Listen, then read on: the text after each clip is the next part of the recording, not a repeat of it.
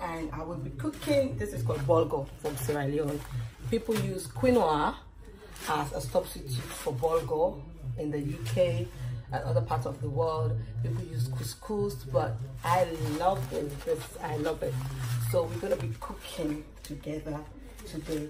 I have all the ingredients right here, which I'm gonna show you. I have the salt, I have this, I have cooked meat already. I'm gonna be cutting it this is, I have meat and um, um, chicken, but it's our own chicken from Africa, not the English chicken. I hardly eat the English chicken. And I have a hot pepper sauce that I buy for my friend who is called Maffini in London. I have my tomato paste, I have my oil, and this is already blended. It's gonna be like the gravy or the sauce to, to this. So guys, let's go straight into the, so I'm gonna put the oil in the fire.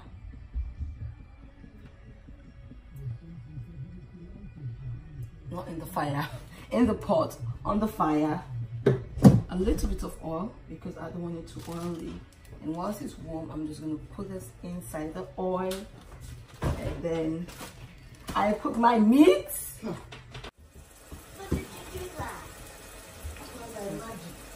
i'm to fry the meat in the gravy all together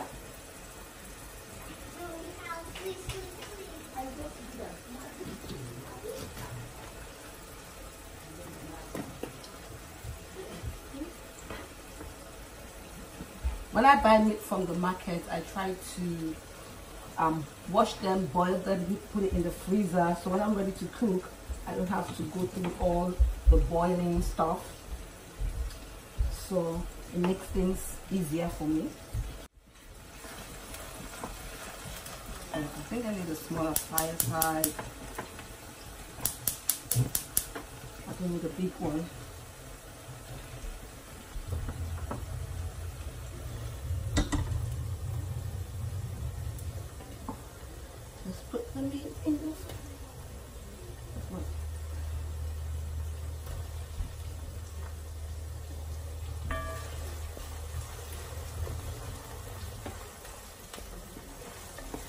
Some of them are bony so I won't be able to actually cut them. Chicken.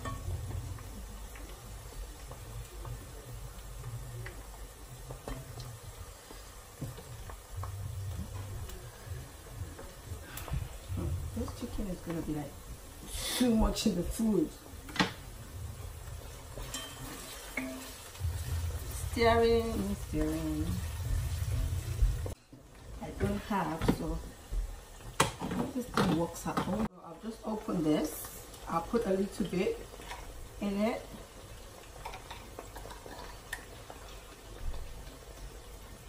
Teaspoon, two teaspoon, and then I'll put the rest in this bowl and put it in the fridge.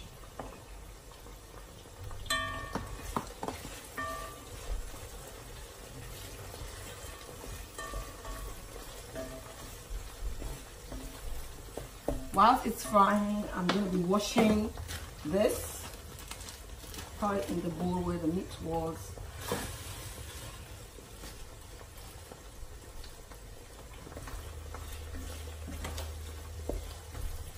Put a bit of a pinch of salt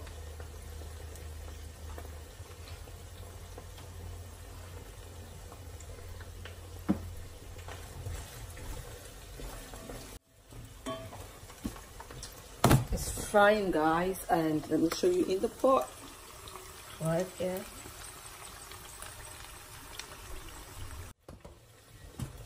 I'm gonna be washing this whilst it's frying. So reason why you have to like wash it is so dirty. You can see the water right here. So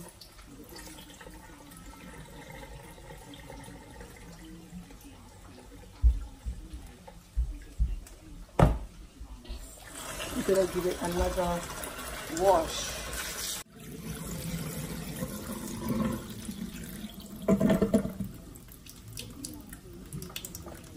so now i'm gonna be cooking it with just a sprinkle of water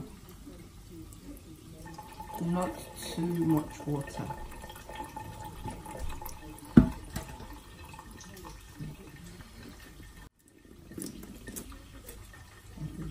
hands. This is what they used to do KB if some of you don't know I don't know if you know KB it's very nice snack.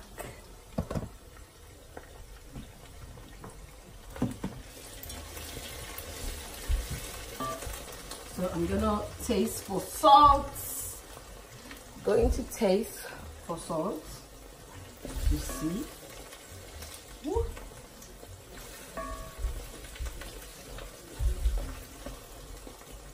Doesn't taste. I'm just gonna put this and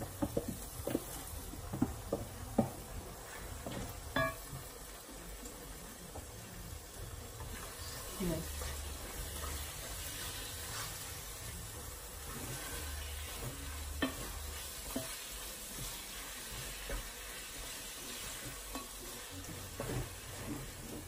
I'm gonna leave it a little bit before I add teeny weeny water.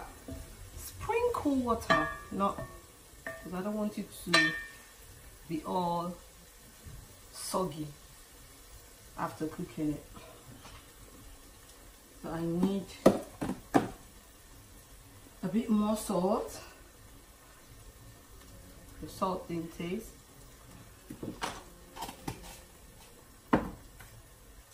A bit of spice. My husband is going to be eating this, so I better be careful because this is very, very hot.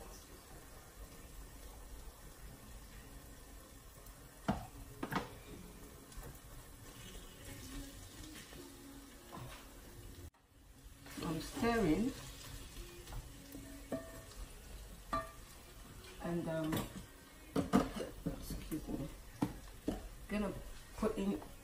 tiny water just a little bit of this water?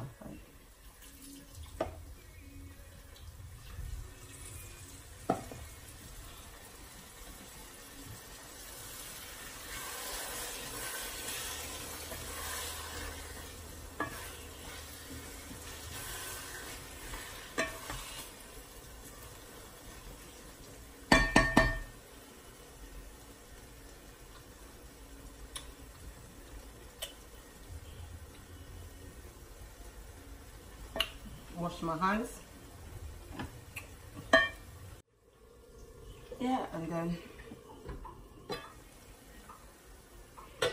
I'm gonna leave it to boil and then I will check it. I will leave it to boil for like 10 minutes and then I'll come back and check it and see how it goes. Hope you enjoyed this cooking video. Okay guys it's finished and I would show you the end result right here. So this is the end result. And that's how you eat it. Just that way. And I will serve it in a bowl and then show you or in a plate and show you. But here it's already for eating. So this is my small cooking video. Hope you like, subscribe and share you press the subscribe button down there. Those of you coming and watching and not subscribing that's not fair. Hurry up and subscribe. See you guys on the other